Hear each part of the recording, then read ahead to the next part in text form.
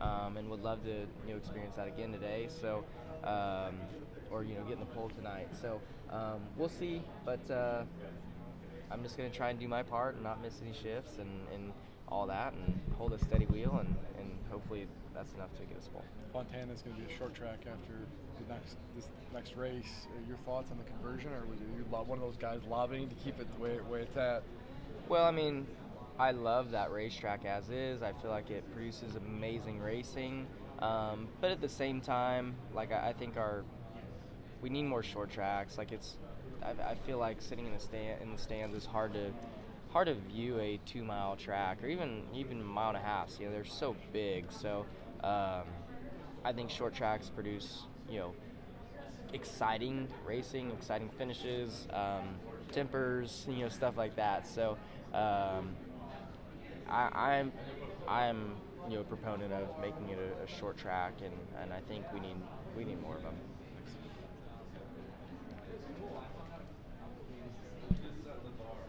How was the off season? Did you finally get some time to relax? I know you got the house in Scottsdale. Did you get some family time and just you know probably the less crazy off season you've had in a long time? Yeah, yeah. I mean, it's it's really like my only off season I've ever had. So um, I enjoyed it a lot. Um, know, we've been out in Arizona and um, just lots of stuff to do out there. So um, you know, the most consecutive days I've probably ever been with my family. So that was that was a lot of fun and uh, getting Owen involved in other sports, Audrey even as well, um, and then just really just hanging out, not doing anything, not not worrying about like what race I'm traveling to next. So uh, it was fun, but but you know since we had the baby, um, I've been racing quite a bit again. So it's been good to get back behind the wheel and uh, get racing before our, our Cup season starts. You and Cliff seemed to hit on something towards the end of last season. Does that help you starting the new season and you know just trying to get momentum early out of the gate? Yeah, I, I felt like we were pretty fast in the last 10 races. I think we were one of the best teams in the playoffs consistently. Um, and I think we were I think we were kind of that way the whole year. We just didn't execute um, to our potential, where I, I, think we executed to our potential more often in the playoffs. So um, maybe not every race, but uh, I felt like we did a decent job. So yeah, we ended the year pretty strong, and, and I don't think any rules have really changed over the course of the off season. So um, I think whoever was fast towards the end of the year probably going to be pretty good to start the year. I think so. Um, we'll see, but uh, ready just to hit the track and, and kind of see where we stack up. Kyle, you know, you talked about living out in Phoenix. Di- different West Coast swings. Is it going to be kind of nice to be like headquartered out there to run run those three races? Um, honestly, it probably won't be much different because that's typically what I did anyways. Um, yeah, we would we would. I don't think any year I ever, every year, we've just stayed out west. So um, whether it be you renting a Airbnb or or whatever it may be. Um, you know, those are long flights, which I'm sure a lot of you guys do fly back and forth, but I don't want to. So uh, I've always just stayed out there and, and enjoyed the weather and, and golf and hang out and, and all that. So, um, but yeah, I mean, I guess it'll be a little bit different that we're going you back to, to Phoenix every week, which I guess you after Fontana, we're going to go uh, on a ski trip for the week. But um, so yeah, I mean, it's not going to feel way different in the in the 500 last year, uh, 24 out of the 40 starters in some kind of a wreck. Only 15 cars on the lead lap at the end.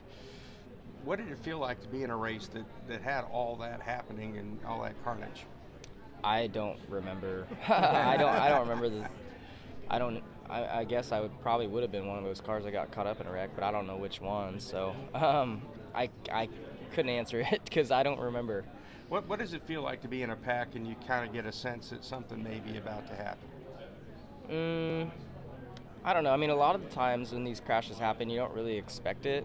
Uh, you know, in the middle of the races, yeah, I think at the end, like the closer it gets to the end, the more you expect the wreck. So that's when it gets like nerve wracking. But um, until, I mean, like I said, either at the end of the stages or the end of the race, that's when you expect it.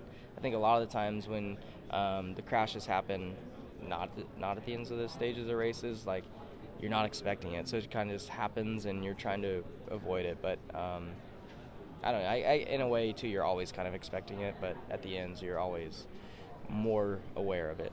Hamlin said he's going to run a house out by you in Scottsdale for the West Coast Swing as well. He said the one thing that he had to have was a pickleball court. Is that something that you're into or something that you've picked up as well? I haven't yet. I would love to. I always, usually, you know, until I got this house, we would, I would always stay with Denny, and um, we would always have a tennis court, and um, I mean, every night we would we would play tennis and you know gamble on it. And I'm not good at it. Denny's as he is with everything, you know, he, he tries harder than everybody. So, you know, he'll go get tennis lessons, I'm sure, and um, all that. But uh, so he would be pretty good. But anyways, it'd be a lot of fun. Um, so yeah, pickleball seems to have been exploding here lately. So um, I don't know where his house is, but I hope it's really close to mine. So um, I'll be over there most nights playing with those guys. Alex Bowman's contract extension was announced earlier, so just having him as a forward for the next few years, um, what what has working with him been like these last couple, and how does it help him help, help all of you guys having him in the fold? Yeah, I think just honestly having all four of us um, solid at, at, Hendrick Motorsports for the next however many years is is a good thing. So um, yeah, I'm, I'm, happy to have you, Alex, uh, with the team. I guess for at least three years. So. Um, I really enjoy Alex. You know, I feel like we're great friends. Um, we have a lot in common, you know, with the dirt racing stuff. So uh, he's who I'm probably closest with, just because of that connection through dirt racing. So um, glad to have him back, and and uh, you know, we work out together in the mornings. You know, when I'm in town. So he's who I spend the most time with out of you know the, the rest of my teammates, and um, yeah, happy happy that he, that we're both you know at Hendrick Motorsports for for the next you know however many years. Do you have a favorite memory of the 500 as a fan or driver? Um, Something that's stuck in your head for years? No, I mean I don't know. Uh, obviously, I mean not a great memory, but you know, I guess when Dale Earnhardt Sr. passed away, I mean that's that probably sticks in everybody's mind. Um, also, when he won finally, and and every crew member came out on pit road. I think that's probably the best memory of this of this place, probably for the majority of people who who haven't experienced something amazing themselves. Um, so yeah, it's just a it's a special place with a with a great atmosphere and, and a lot on the line too. So um, would love to uh, be a part of those special moments like so many greats have before. So you're coming down to the last lap. You're close to the front. Who do you not want behind you? I don't care. It doesn't matter. it doesn't matter. Have you talked to AJ Allmendinger or Conor Daly about any 500 tips? Uh, I haven't talked to anybody really yet about 500 tips. Um, my mind's kind of been on on the NASCAR stuff still at this point. Um, I think is like the IndyCar season gets going and and ice, you know, hopefully we'll get to go to some practice days uh, for the 500. Yeah, I think that's when I'll kind of start my initial um, studying, um, I guess. But uh, I did get to meet you know Felix Rosenqvist. He was at the simulator a few weeks ago, so we chatted some about about it. And, um, it was good to, to hear him because you know he'll be one of my teammates. So, um, but yeah, you know I think I think once I get to the speedway, and especially too when I get closer to when I get in the car, uh, I'll be asking whoever's got any advice. Were you a big Tony Kanaan fan when you were younger?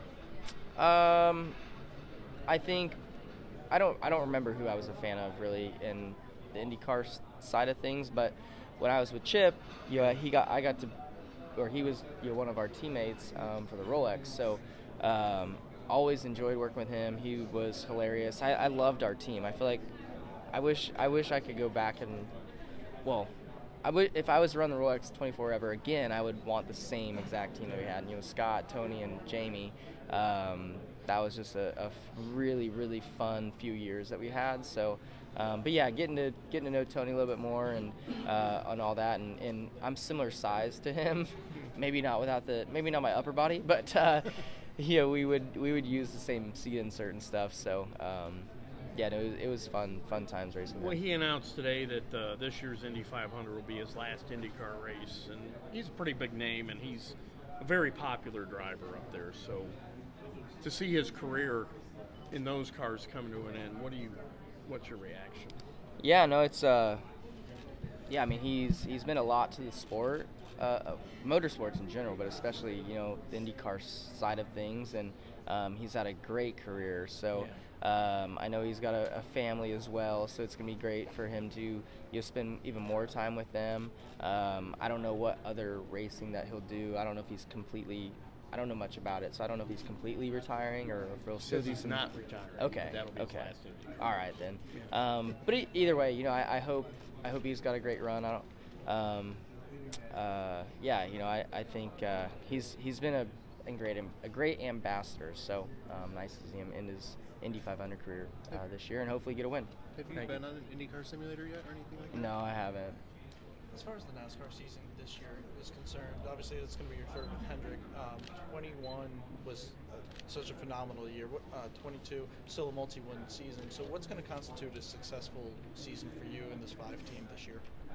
Uh, yeah, I mean, I don't, I don't know. I mean, obviously, I know that like winning ten races is very, very hard. Um, so I don't, I don't like to set my goals that high. But uh, no, I think, I think honestly, if you can win multiple Cup races each year and, and be in contention um, in other races as well, I think that's a solid season. So yes, you know, we didn't win as much as we wanted to last year, but three wins is still a lot more than than others had. So I don't view it as a totally you know, down year. I feel like as as some people may compared to our year before. So, um, but you know, at least we know that we can go out there and we've done it before and won 10 races and also race and a championship. So we know that we're capable of it. So that's that's nice to have that out in the distance that you can you can do it. But um, it's difficult. So so we'll see. But uh, I just want to be in contention, making making less mistakes this year, and and you're just giving ourselves more opportunity to win.